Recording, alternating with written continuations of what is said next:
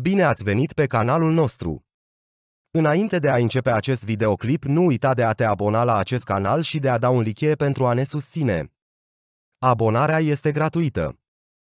Vă dorim vizionare plăcută!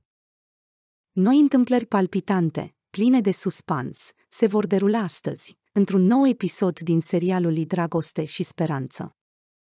Ura pe care Melis o nutrește pentru Zeynep atinge cote maxime și nimeni nu o poate tempera de tânăr atunci când cele două se întâlnesc.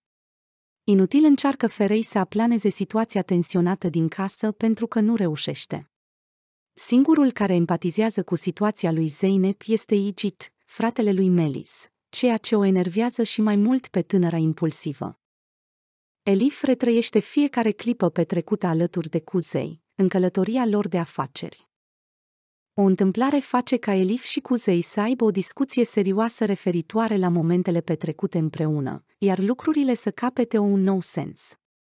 Mai mult, Elif va ajunge în situația în care o va înfrunta chiar pe Handan. Ferei încearcă să mai îndulcească situația existentă în casă și plănuiește ca împreună cu întreaga familie să petreacă o minunată zi împreună. În mod surprinzător, Ferei îi cere lui Zeynep să se alăture la acest frumos eveniment.